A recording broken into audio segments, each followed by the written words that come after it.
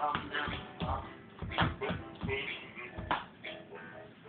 lots of other penguins seem to do fine in the universe of nothing but night.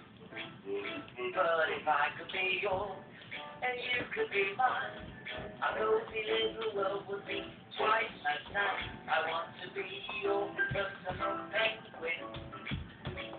I want to talk with you night and day. I want to be I want to listen to whatever you say. Look at these wings, so perfect to hold you. I'd like to say again what I have already told you. Let me be your personal penguin from now on.